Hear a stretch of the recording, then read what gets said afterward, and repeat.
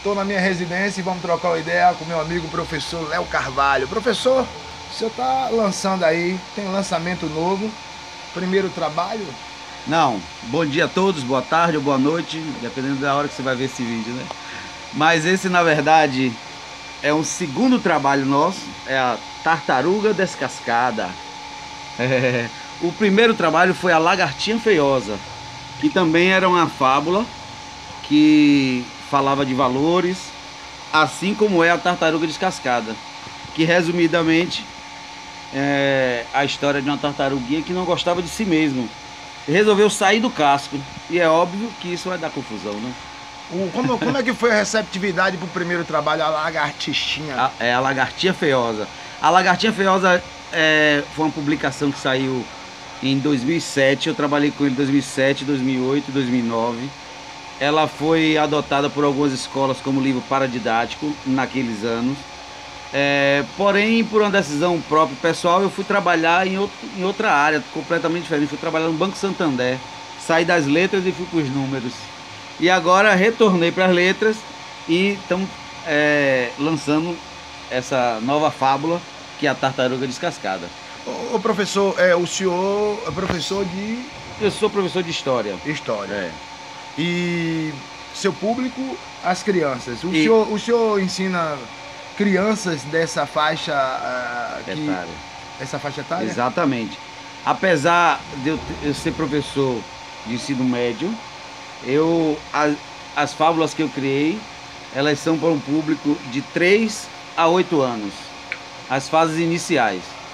Então, a receptividade é muito boa e também é, como um valor humano, ele, ele não tem uma idade limite, ele serve para todas as faixas etárias, então eu julgo que a leitura do, do livrinho é saudável para qualquer idade, muito embora ele tenha sido concebido para essa faixa etária de 8 a 3. Professor, eu tenho uma filha nessa faixa etária, a Yasmin Vitória. O senhor tem alguém que especial a que o senhor dedica essa obra? Isso. Essa, essa obra específica, a Tartaruga Descascada, eu fiz com inspiração em uma criança, mas na hora de dedicar a obra, eu preferi dedicar a todos os vovôs e vovós.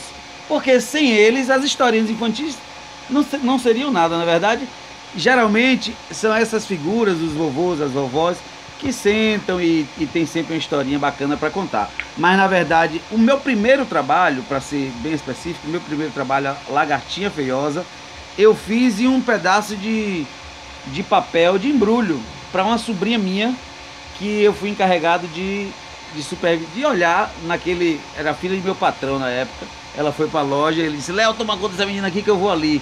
E aí para entreter ela, eu tirei um pedaço de de papel de embrulho e fiz a história, porque eu gostaria de falar assim que tanto a historinha, Elias, que é toda em verso, quanto todas as ilustrações do livro foram feitas por mim mesmo.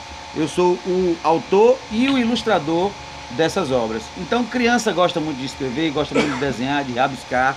Então, é, eu fiz essa historinha para entreter aquela é, priminha minha e guardei aquilo e num momento oportuno ela se transformou em história. E a tartaruga descascada eu fiz para minha filha Hanna, que hoje tem 20 anos. Mas na época é, eu escrevi, essa aqui também eu escrevi há muito tempo, em, em 2001, 2002, mas eu só publiquei em 2008 e 2009. Profe- Essa historinha. Professor, é, para alcançar o seu público-alvo, o senhor tem um endereço, as pessoas podem Boa. chegar até no senhor aí, como é que faz? Então,